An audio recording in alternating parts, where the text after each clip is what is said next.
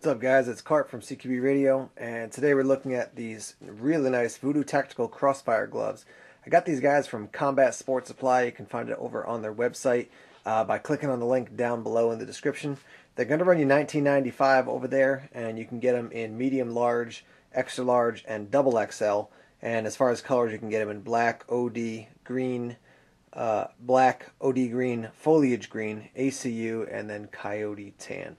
These guys are super comfortable, but just as a generic glove that'll keep your hand a little bit warm and are good for just overall use, these guys are really sweet. So as you can see, you got some nice padding here in the palm. Uh, very comfortable leather palm. Got kind of this, um, it's kind of like a little bit like spandex um, material up there on the top and then reinforced here across the knuckle and then across the fingertips as well. Now I got large and most large gloves for me fit just right. These guys are a little bit small for a large, but I found them to be pretty comfortable, and they just need to be broken in. The place I feel the most tension is right across here. So as I get a little bit more use out of them, I think they'll break in, stretch a little bit, and then the large for me will be just fantastic. So, all right, let's look at these guys a little bit closer. All right, a couple things we're talking about. First, your palm here, as I mentioned, it's leather. They call it Amara or Amara leather, and it's very pliable, very, very comfortable.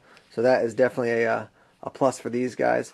Another thing I like is the stitching. You can see lots of stitching here, very reinforced, very solid. Um, stitching across the fingertips. Look at all these different places where stitching is going to happen. Now often what happens for me is when I get stitching, particularly in this first finger, where they bring the two pieces of material inside together, um, I often have just on my fingertip, like I can feel it right inside here. Not the case with these guys. Very, very comfortable. Don't feel like there's any issue as far as like these guys, you know, me feeling where the uh, creases of the materials been brought together. So that's definitely a plus. Um, the other thing I like too is that you have this basically, you know, one solid piece of material down here and then reinforced across the fingers. I have seen other gloves that are, you know, reinforced on a couple fingertips or whatever. I like that the whole thing is just kind of one piece that makes it very, very comfortable and easy to use. Here you can see the uh, hook and loop closure to put these guys on and the uh, Voodoo Tactical logo there. Uh, if you have trouble putting gloves on, uh, as I said some in some other videos, you probably have some bigger issues in life. But very easy to put on. You know, rock your hook and loop closure, and you are uh, you're good to go there. Let me back this up just a little bit here, so you can get a fuller picture of them. Um, I had a pair of these a while ago, and then gave them away to my buddy Ox, who's been using them for a long time.